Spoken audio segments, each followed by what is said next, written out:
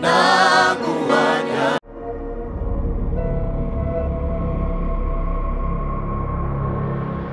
nongeye kubaha ikaze abakunzi ba Shiro TV aho muri hirya no hino ni Jackie Fram muri kumwe. Ah, uyu mwanya none rero ndi hano mu itorero rya Shiro Prayer Mountain aho tugiye guhura n'abakozi b'Imana batandukanye aho tugiye kubereka umuhanzi. Mbese ni surprise yo kuvuga ngo uwo muhanzi ni uwuhe? Tumenyereye aba star benshi ariko noneho hari uwari wihisha ahantu. Yavumbutse uyu munsi rero mbese ni fire fire. So rero ni Shiro TV nk'uko bisanzwe bagerera henshi hatandukanye. Twamusanze muri practice mu myiteguro yiwe hari kwitegura igitaramo. como cyo muri Shiro Prayer Mountain cya Present Worship kizajya kiba buri kwezi mboneyeho kugutumira buri kwezi itariki ya nyuma y'ukwezi. Ujye ufata linye yo muri Shiro Prayer Mountain kuko azajya aba ari ibintu byiza. Tuba dufite abaririmbyi batandukanye worship team amakorari yo muri Shiro, Shiro Prayer Mountain ndetse n'abahanzi bagiye batandukanye bo muri Shiro Prayer Mountain. Dufitemo abahanzi ha ni ibintu bidasanzwe n'abari hanze. Rero reka nkubwire ngo ndagutumiye nawe ujye uza nkwibutsa ko wakora subscribe kwibuka like share ndetse na comment.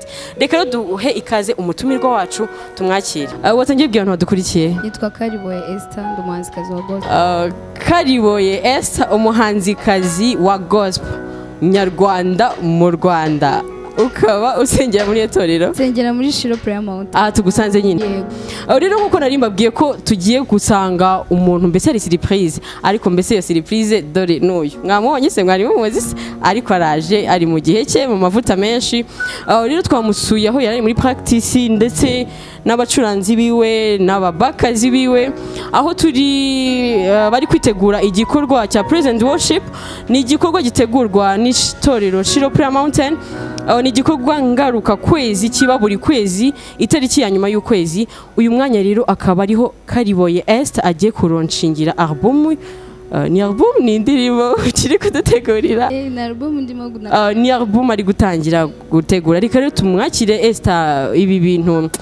Uh, ni bwo gitangira umuziki wa gospel. Yego. waba waratangiye ryari? Na- kuririmba nabitangiye kera. Ariko gushira hanze indirimbo zanjye indirimbo ya mbere nayi- nayishizeho umwaka ushize. Uh, umwaka ushize hashize amezi umunani. Ubu kugira umwanya ufite indirimbo zingahe? Mfite indirimbo ebyiri ubu ngubu. Ese iyo ndirimbo imwe wabashije kuba wakora umwaka ushize yaba hari ahantu yaba igaragara hari abamaze kuyimenya byaba bimeze bite? Cyangwa turanayiza ko tutazi ko ari iyawe? Iyo ndirimbo iri kuri YouTube channel yanjye. Kariboye Esther yitwa Ngizwe nawe uyishaka wajyaho kuri YouTube channel yanjye ukandikaho Kariboye Esther Ngizwe nawe cyangwa se Ngizwe nawe by Kariboye Esther iyo ndirimbo yanjye uyisangaho. Yes rero nk'umuntu usanze muri practice amajwi ubu ameze fresh. Duha kapera akantu gato. Hari umuntu udukurikiye ashobora guhita avuga ati "Eh, ya ndirimbo numva kumbe ni iyi mukobwa mwiza rero? Wadukubitiraho akantu gato umwanya ni wawe. Iyo dushura duhura iyo nihebye uramumuriza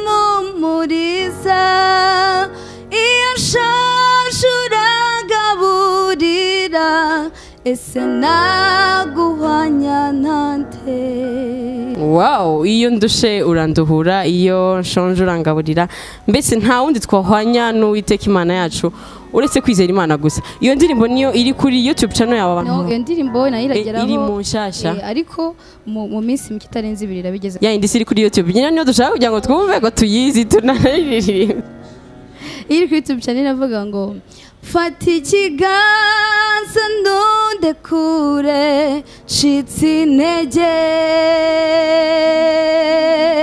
turishinya shiri mu muraba narohama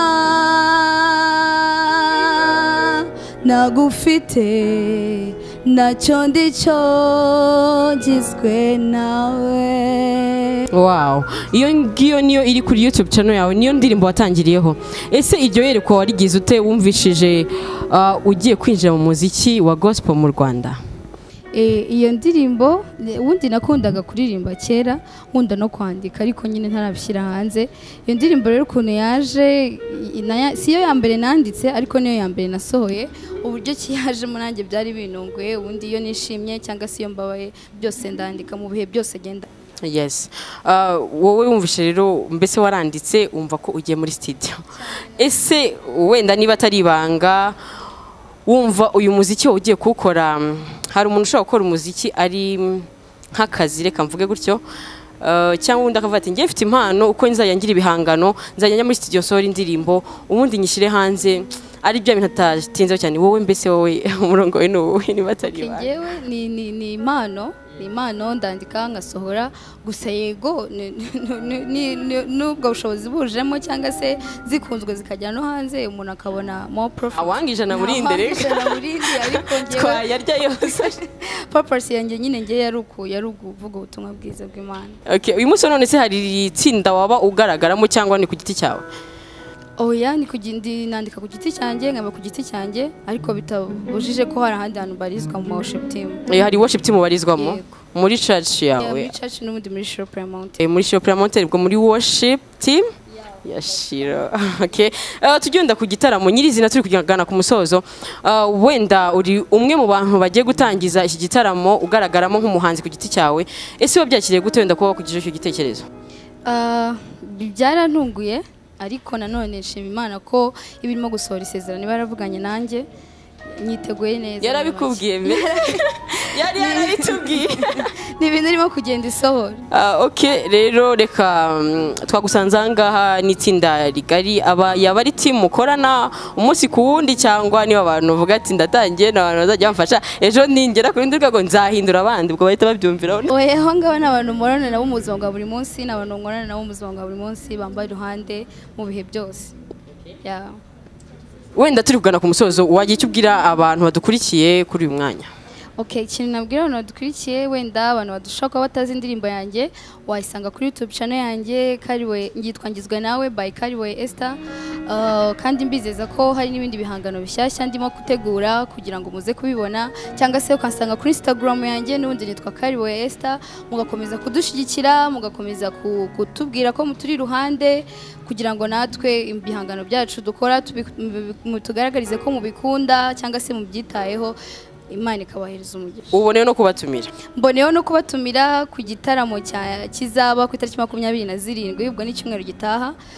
Kizabera hano muri Shiro Prayer Mountain bizaba ari ukuronshinga indirimbo zanjye uko ari ebyiri kandi nkomerezaho mfatiraho kugira ngo icyo niyemeje ngisohoke. Bahise bibaza ngo kwinjira ni umuntu cyangwa ni amafaranga? Kwinjira ni ubuntu ariko bagasiga bana- banatanze inkunga. Mwumviyeho rero.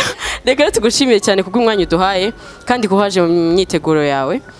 Reka tubashimire mwe mukurikiye Shiro TV nk'uko bisanzwe ndakubitsa ko wakora subscribe ukibuka like share ndetse na comment kandi nkutumira.